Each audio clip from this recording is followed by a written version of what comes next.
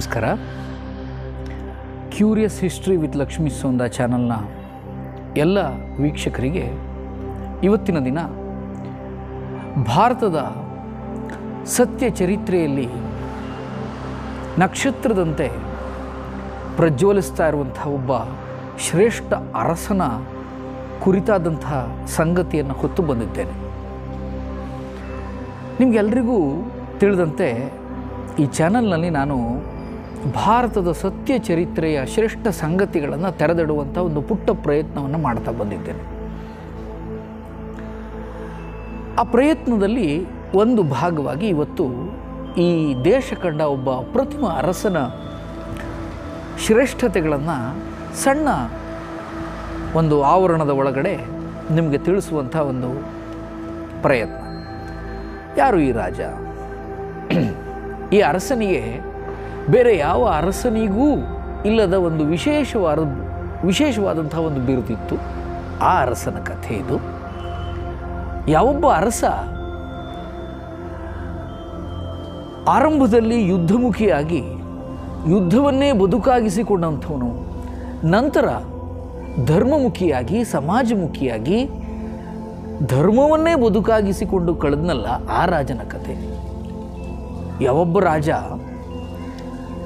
ಶಾಸನಗಳಲ್ಲಿ ಆತ್ಮರತಿಗೆ ಮುಂದಾಗದೆ, ವೈಯಕ್ತಿಕ ವೈಭವೀಕರಣಕ್ಕೆ ಮುಂದಾಗದೆ, ಮೌಲ್ಯಗಳು, ತತ್ವಗಳು, ಆದರ್ಶಗಳು, ಸಿದ್ಧಾಂತಗಳು, ಶ್ರೇಷ್ಠ ಸಂಗತಿಗಳನ್ನು ಜನರಿಗೆ ತಿಳಿಸುವ, ಕಲಿಸುವ ಕಾರ್ಯಕ್ಕೆ ಮುಂದಾದನಲ್ಲ ಆ ರಾಜನ ಕಥೆ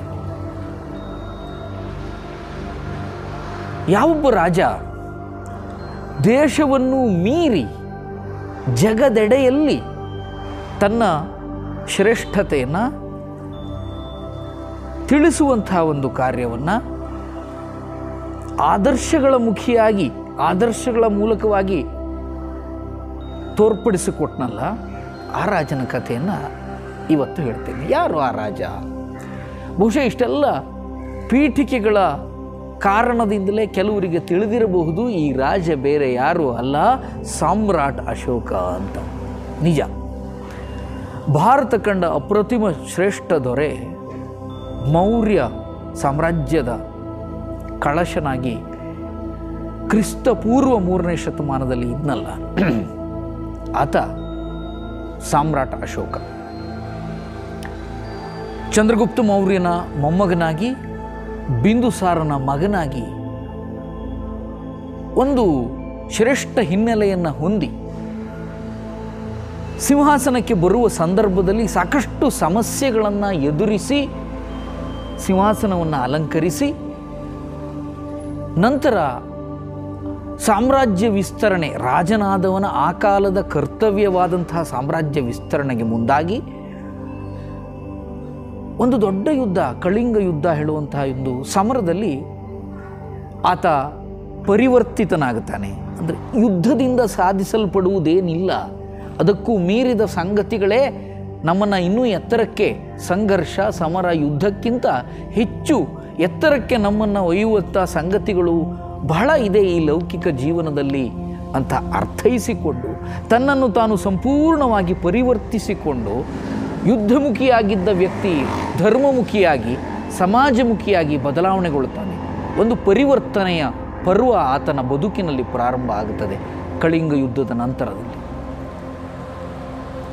ಆತ ಅದುವರೆಗೂ ಯಾವ ಅರಸನೂ ಮಾಡದ ಒಂದು ಶ್ರೇಷ್ಠವಾದಂತಹ ಕೆಲಸಕ್ಕೆ ಮುಂದಾಗುತ್ತಾನೆ. ಆ ಆ ಕೆಲಸವೇ ಶಾಸನಗಳನ್ನು ಹೊರಡಿಸುವಂಥ ಕೆಲಸ.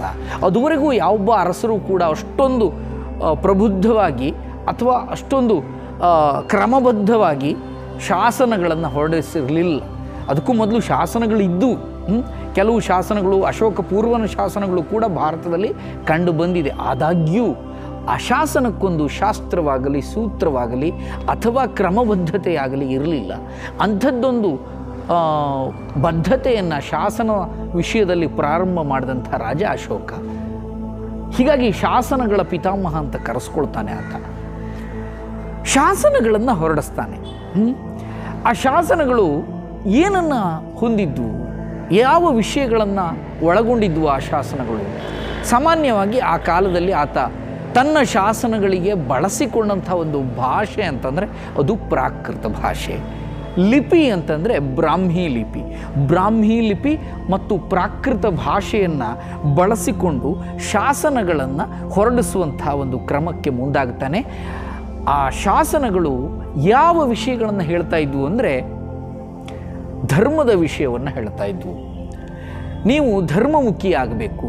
ಮೌಲ್ಯ ತತ್ವ ಸಿದ್ಧಾಂತಗಳನ್ನು ಅಳವಡಿಸಿಕೊಳ್ಬೇಕು ಬದುಕಿನಲ್ಲಿ. ಹಿಂಸೆಯಿಂದ ದೂರ ಆಗಬೇಕು ಅಹಿಂಸೆ ಸತ್ಯದ ಪಾಲನೆಗೆ ಮುಂದಾಗಬೇಕು. ಈ ಎಲ್ಲ ಉತ್ತಮೋತ್ತಮ ವಿಚಾರಗಳನ್ನು ಶಾಸನಗಳಿಂದ, ಶಾಸನಗಳನ್ನು ಬಳಸಿಕೊಂಡು ತನ್ನ ಪ್ರಜೆಗಳಿಗೆ ಕಲಿಸುವ ಕೆಲಸ ಮಾಡಿದ್ನಲ್ಲ, ಯಾರು ಈ ಕೆಲಸವನ್ನು ಮಾಡಿದವರು ಭಾರತದ ಇತಿಹಾಸದಲ್ಲಿ? ಯಾವೊಬ್ಬ ಅರಸನು ಇಂಥ ಒಂದು ಕೆಲಸವನ್ನು ಮಾಡಲಿಲ್ಲ. ಎಲ್ಲರೂ ತಾನು ಅಂಥವನನ್ನು ಸೋಲಿಸಿದೆ. ತನ್ನ ಬಳಿ ಇಷ್ಟು ಸಂಪತ್ತಿತ್ತು. ತಾನು ಇಂಥ ಕೆಲಸ ಮಾಡಿದೆ. ವೈಯಕ್ತಿಕ ವೈಭವೀಕರಣಕ್ಕೆ ಮುಂದಾದರೆ ಬಿಟ್ಟರೆ ಇವನ ನಂತರ ಬಂದಂಥ ಎಲ್ಲರೂ ಶಾಸನ ಪರಂಪರೆಯನ್ನು ಮುಂದುವರಿಸಿದ್ರು. ಆದರೆ ಆ ಶಾಸನ ಪರಂಪರೆಯ ವಿಷಯವನ್ನು ಮುಂದುವರಿಸಲಿಲ್ಲ. ಅದು ದುರದೃಷ್ಟಕರ ಸಂಗತಿ. ಅಪವಾದಗಳಿರಬಹುದು ಕೆಲವರು. ಆದರೆ ಸಾಮಾನ್ಯವಾಗಿ ನಾವು ನೋಡಿದ್ರೆ ಗೊತ್ತಾಗ್ಬಿಡುತ್ತೆ. ಶಾ ಆ ಅಶೋಕ ಹಾಕಿಕೊಟ್ಟ ಶಾಸನ ಪರಂಪರೆಯನ್ನು ಮುಂದುವರಿಸಿದರೆ ಬಿಟ್ಟರೆ ಆ ಶಾಸನದ ವಿಷಯ ಪರಂಪರೆಯನ್ನು ಮುಂದುವರಿಸಲಿಲ್ಲ. ಹೀಗಾಗಿ ಅಶೋಕನೇ ನಮಗೆ ಸರ್ವಕಾಲಿಕ ಶ್ರೇಷ್ಠವಾಗಿ ಕಾಣ್ತಾನೆ ಈ ವಿಷಯದಲ್ಲಿ. ಇದೇ ಕಾರಣಕ್ಕೋಸ್ಕರ. ಇರಲಿ, ಮೌಲ್ಯ ತತ್ವ ಸಿದ್ಧಾಂತಗಳನ್ನು ಗುರು ಹಿರಿಯರಿಗೆ ಗೌರವವನ್ನು ಕೊಡಿ, ತಂದೆ ತಾಯಿಗಳನ್ನು ಚೆನ್ನಾಗಿ ನೋಡಿಕೊಳ್ಳಿ, ಸತ್ಯದ ಪಾಲನೆಯನ್ನೇ ಮಾಡಿ, ಹಿಂಸೆಗೆ ಮುಂದಾಗಬೇಡಿ ಅಹಿಂಸೆಯತ್ತ ನಿಮ್ಮ ಮುಖ ಇರಲಿ ಇವೆಲ್ಲ ವಿಷಯಗಳನ್ನು ಆತ ಶಾಸನದಲ್ಲಿ ಹೇಳ್ತಾನೆ. ಜೊತೆಗೆ ತನ್ನನ್ನು ತಾನು ಯಾರು ಅಂತ ಕೂಡ ಹೇಳ್ಕೊಳ್ಳೋದಿಲ್ಲ ಈ ಪುಣ್ಯಾತ್ಮ. ಹಾಂ? ಇಷ್ಟೆಲ್ಲ ಮಾಡಿದ ವ್ಯಕ್ತಿ ಯಾರು ಅಂತಲೇ ಗೊತ್ತಿರಲಿಲ್ಲ. ಶಾಸನಗಳು ಸಿಗ್ತಾ ಇದ್ದು ಆ ನಂತರದ ಈಗೊಂದು ನೂರು ವರ್ಷಗಳಿಂದ ಆ ಶಾಸನಗಳ ಹುಡುಕಾಟ ಏನು ಪ್ರಾರಂಭ ಆಯ್ತಲ್ಲ ಭಾರತದಲ್ಲಿ? ಶಾಸನಗಳ ಸಂಶೋಧನೆ ಎಲ್ಲ ಶಾಸನಗಳ ಅಧ್ಯಯನ ಎಲ್ಲ.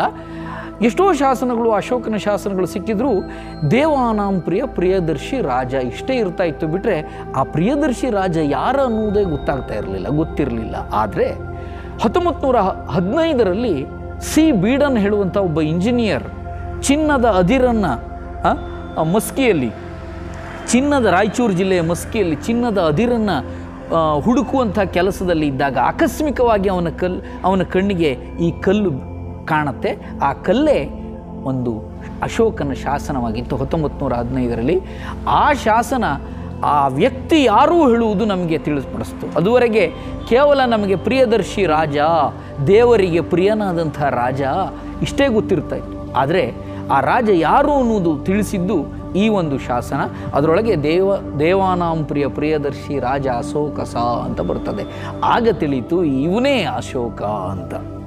ಮೌರ್ಯ ದೊರೆ ಅಶೋಕ ಅಂತ. ಹೀಗಾಗಿ ಅವನು ಈ ಎಲ್ಲ ಉತ್ತಮ ಉತ್ತಮ ವಿಚಾರಗಳನ್ನು ಜನರಿಗೆ ತಿಳಿಸ್ತಾನೆ ಶಾಸನಗಳಿಂದ. ಅವನ ಶಾಸನ ಹೇಗಿರ್ತಾ ಇತ್ತು ನೋಡಿ, ಒಂದು ಒಂದೆರಡು ಮೂರು ಸಾಲುಗಳನ್ನು ಹೇಳ್ತೇನೆ ನಾನು. ಅಶೋಕನ ಶಾಸನಗಳಿಂದ ಆಯ್ದ ನೇಪಾಳದ ಒಂದು ಬಹಳ ಸುಂದರ ಶಾಸನ, ದೇವಾನಾಂ ಪ್ರಿಯ ಪ್ರಿಯದರ್ಶಿ ರಾಜ ಅಶೋಕಸ ಇತನ ಆಗಾಚ ಮಹೀಯತೆ, ಹಿದಬುದ ಜಾತೆ ಸಖ್ಯಮುನೀತೆ. ಹೀಗೆ ಬರುತ್ತೆ? ಅಶೋಕ, ಇದು ಪ್ರಾಕೃತ ಭಾಷೆಯ ಒಂದು ಒಂದು ಸಣ್ಣ ಉದಾಹರಣೆ ಅಷ್ಟೇ ನಾನು ಕೊಟ್ಟಿದ್ದು. ಸೊ ಈ ರೀತಿಯಲ್ಲಿ ಪ್ರಾಕೃತ ಭಾಷೆ ಬ್ರಾಹ್ಮಿ ಲಿಪಿಯನ್ನು ಬಳಸ್ಕೊಂಡು ಅಶೋಕ ಉದಾತ್ತ ಧ್ಯೇಯ, ಆದರ್ಶ ತತ್ವ ಸಿದ್ಧಾಂತ ಮೌಲ್ಯಗಳನ್ನು ಜನತೆಗೆ ತಿಳಿಯಪಡಿಸುವಂಥ ರಾಜನಾಗ್ತಾನೆ. ಬೌದ್ಧ ಧರ್ಮದೆಡೆಗೆ ಆಕರ್ಷಿತನಾಗಿ ಬೌದ್ಧ ಧರ್ಮವನ್ನು ಸ್ವೀಕಾರ ಮಾಡ್ತಾನೆ. ಆ ಕಾಲದ ಒಂದು ಸ್ಥಿತಿಗತಿಗೆ ಅನುಗುಣವಾಗಿ ಅವನ ನಡೆ ಇತ್ತು ಅದನ್ನು ನಾವು ಈ ಕಾಲಕ್ಕೆ, ಈ ಕಾಲದ ರಾಜಕೀಯ, ಈ ಕಾಲದ ಧಾರ್ಮಿಕ ಚಟುವಟಿಕೆಗಳಿಗೆ ತಳುಕು ಹಾಕಿ ಮತ್ತೆ ಸಂಕೀರ್ಣತೆಗೆ ಒಳಪಡಿಸಬಾರದು. ತಪ್ಪಾಗ್ಬಿಡತ್ತೆ. ಎರಡು ಸಾವಿರದ ಮುನ್ನೂರು ವರ್ಷಗಳ ಹಿಂದಿನ ಸ್ಥಿತಿಗತಿಗೂ, ಇಂದಿನ ಸ್ಥಿತಿಗತಿಗಳಿಗೂ ಅಜಗಜಾಂತರವಾದಂಥ ವ್ಯತ್ಯಾಸಗಳಿರುತ್ತೆ. ಹೀಗಾಗಿ ನಾವು ಮಾಡುವಂಥ ಭಾಳ ದೊಡ್ಡ ತಪ್ಪು ಅಂದರೆ, ಈ ತುಲನಾತ್ಮಕವಾದಂಥ ಸಂ ವಿಚಾರಕ್ಕೆ, ವಿಚಾರವನ್ನು ಇಟ್ಕೊಳ್ಳುವುದು ಇತಿಹಾಸಕ್ಕೆ ಸಂಬಂಧಪಟ್ಟು. ಆ ಕಾಲಕ್ಕೂ, ಈ ಕಾಲಕ್ಕೂ, ಅದು ಎಲ್ಲ ಅಪಸವ್ಯಗಳಾಗ್ಬಿಡುತ್ತೆ ಎಷ್ಟೋ ಎಷ್ಟೋ ಬಾರಿ. ಹೀಗಾಗಿ ಅದಕ್ಕೆ ನಾವು ಹೋಗಬಾರ್ದು. ಒಳ್ಳೆಯ ವಿಚಾರಗಳನ್ನು, ಧನಾತ್ಮಕ ವಿಚಾರಗಳನ್ನು ಮಾತ್ರ ನಾವು ತೆಗೆದುಕೊಳ್ಬೇಕಾಗ್ತದೆ. ಅಶೋಕನ ವಿಷಯದಲ್ಲೂ ಅನೇಕ ಋಣಾತ್ಮಕ ಸಂಗತಿಗಳಿವೆ. ಆದರೆ ಅದನ್ನೆಲ್ಲ ಮೀರಿದ ಧನಾತ್ಮಕ ಸಂಗತಿಗಳು ಆತನನ್ನು ಈ ದೇಶದ ಒಬ್ಬ ವಿಶೇಷ ಅರಸನನ್ನಾಗಿ ಮಾಡ್ತದೆ. ಅಶೋಕನನ್ನು ಇನ್ನೂ ಸಾಕಷ್ಟು ತಿಳ್ಕೊಳ್ಬೇಕು ಅಂತ ಇದ್ದರೆ ಅಶೋಕನ ಶಾಸನಗಳನ್ನು ಅಧ್ಯಯನ ಮಾಡಬಹುದು. ಅಥವಾ ಮೌರ್ಯರ ಇತಿಹಾಸ, ಅಶೋಕನ ಇತಿಹಾಸವನ್ನು ಭಾರತದ, ಭಾರತೀಯತೆಯ ನೆಲೆಗಟ್ಟಿನಲ್ಲಿ ಅಶೋಕನನ್ನು ತಿಳಿಯುವಂಥ ಒಂದು ಪ್ರಯತ್ನ ಮಾಡಿದ್ರೆ ನಿಮಗೆ ಅಶೋಕ ಸ್ಪಷ್ಟವಾಗಿ ತಿಳಿಯಪಡ್ತಾನೆ. ಅಶೋಕ ಇನ್ನೂ ಚೆನ್ನಾಗಿ ನಿಮಗೆ ಅರ್ಥ ಆಗ್ತಾನೆ. ಸಣ್ಣ ತಿರುಳಷ್ಟನ್ನೇ ನಾನು ಇವತ್ತಿನ ಸಂದರ್ಭದಲ್ಲಿ ಹೇಳಿದ್ದು.